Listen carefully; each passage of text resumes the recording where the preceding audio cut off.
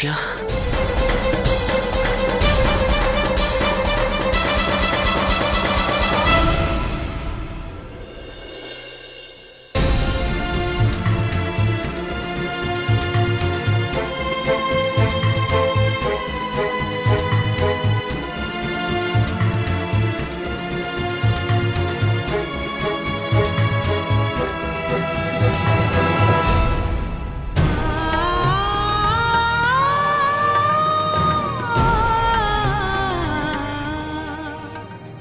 ನಡಿ.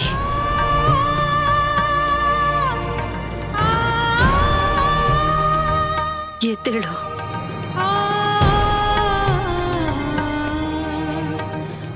ಇಚ್ಛ ಬಾ.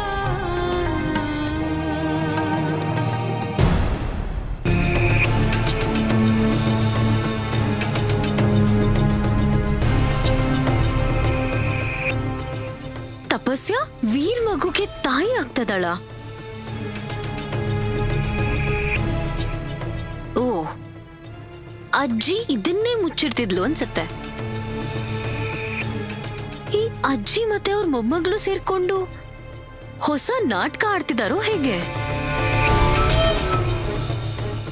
ಇಲ್ಲಂದ್ರೆ ತಪಸ್ಯ ವೀರ್ ಮಗು ತಾಯಿ?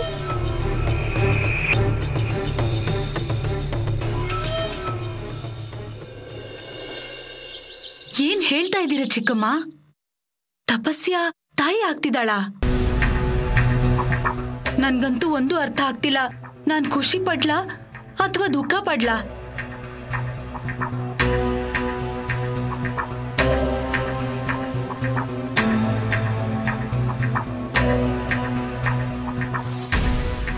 ಆದ್ರೆ ಚಿಕ್ಕಮ್ಮ ನನ್ನ ತಲೆಯಲ್ಲಿ ಒಂದ್ ವಿಚಾರ ಬರ್ತಾ ಇದೆ.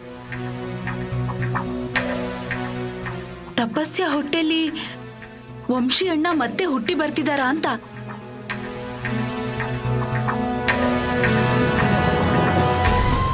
ಸ್ವಾಮೀಜಿನೂ ಇದನ್ನೇ ಹೇಳ್ತಾ ಇದ್ರು. ಅಯ್ಯೋ ಕೃಷ್ಣ ಇದೆಂತ ವಿಚಿತ್ರ ಪರಿಸ್ಥಿತಿನ ಸೃಷ್ಟಿ ಮಾಡ್ಬಿಟ್ಟಿಯಪ್ಪ ಚಿಕ್ಕಮ್ಮ, ಒಂದ್ ಕಡೆ ವೀರ್ ಇಚ್ಛಾನ ಮದ್ವೆ ಆಗ್ಬಿಟ್ಟಿದ್ದಾನೆ. ಇನ್ನೊಂದ್ ಕಡೆ ತಪಸ್ಯ ವೀರ್ ಮಗುಗೆ ತಾಯಿ ಆಗ್ತಿದ್ದಾಳೆ. ಈಗ ನೀವ್ ಏನ್ ಮಾಡ್ತೀರಾ ಚಿಕ್ಕಮ್ಮ? ಮತ್ತೆ ಈಗ ಇಚ್ಛಾ ಕತೆ ಏನು? ನೀವ್ ಹಾಗೂ ಹೀಗೂ ತಪಸ್ಯಾನ ಕ್ಷಮಿಸ್ಬಿಡ್ತೀರಾ? ಆದ್ರೆ ವೀರ್ ಕೃಷ್ಣ ಈಗ ನೀನೇ ಈ ಸಮಸ್ಯೆಗೆ ಪರಿಹಾರ ಹೇಳ್ಬೇಕು.